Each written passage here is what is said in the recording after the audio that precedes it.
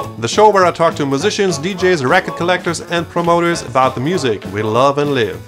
Man, I'm so excited already. In episode number 8, I will talk to one of my favorite singers, guitar players, uh, songwriters, book authors, storytellers, you name it. He's a man of many talents. I'm talking about Mr. Deke Dickerson, Mr. Entertainment.